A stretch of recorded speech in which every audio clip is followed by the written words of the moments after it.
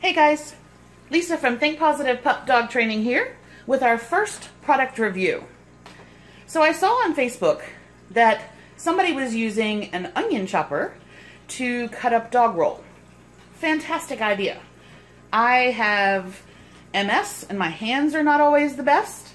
And so anything that's going to save my hands, fantastic. I had a look at my local Walmart and they were like 16 to $20 each. Uh, of course, I then checked Wish because, you know, Wish has tons of stuff if you're happy to wait for it. And I didn't actually find what I wanted until I went on to Amazon and they happened to have this particular model for $9. And if you have Prime, no extra shipping. So I'm going to cut up some Pure Balance smoked salmon recipe roll and we'll see what happens.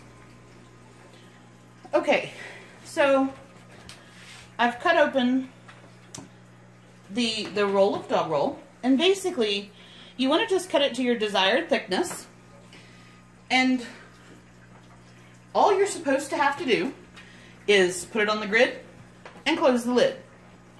So, we will see what happens.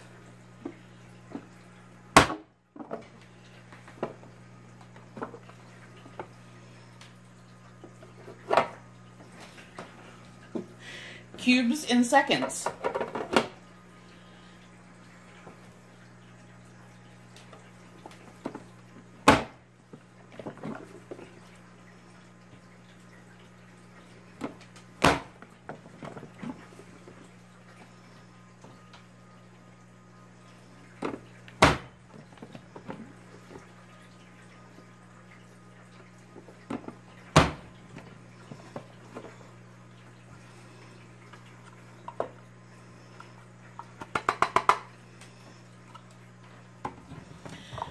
Okay, there you have it. Half a roll of dog roll done in 30 seconds or less.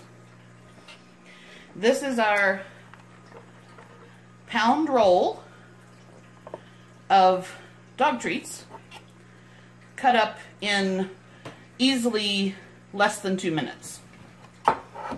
Okay, cleanup was a breeze. I basically just took my sink sprayer and sprayed that completely clean, not a problem. It comes apart for easy cleaning. The little uh, grids pop out and go back in really easy. So overall, for $9, amazing product.